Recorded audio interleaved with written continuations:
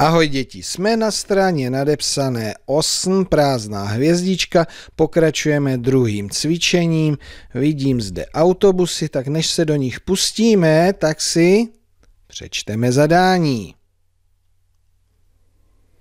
Počítej a napiš. Tak se jdeme podívat na autobusy do interaktivního cvičení. Rozjedeme autobus, jsou v něm tři cestující a pozor, dva cestující přistoupili. Takže do příkladu, když přistoupili, doplňují co? Jaké znamenko? Plus nebo minus? Když přistupují, tak plus a byli tam dva. Takže nyní 3 plus 2 rovná se 5, od zastávky odjíždí autobus s pěti cestujícími. Co se děje dál? Zase přistupují, už tam dávám plus a byly 3, 5 plus 3 rovná se 8. Výborně. Tak jdeme na další autobus. Tak, je tam 6 cestujících. Co mám udělat? Plus, plus kolik? Kdo si všimnul? plus 1 a to se rovná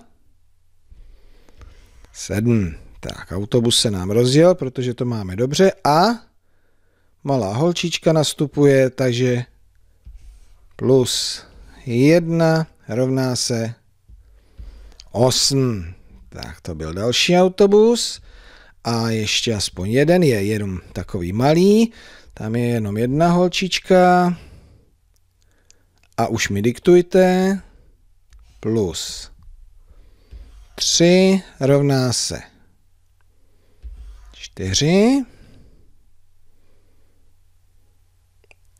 a zase už mi diktujte plus 1 rovná se 5.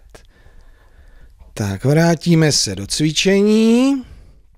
No, a já si myslím, že to zvládnete sami.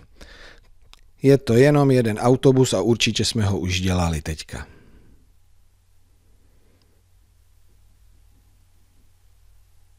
Máte? Dobře. Tak jak jste uvažovali? Tady jsou tři cestující, to jsou tihle tři. A teďka tady máme o dva cestující navíc, takže plus dva rovná se pět. A teďka porovnám v autobuse tyhle cestující.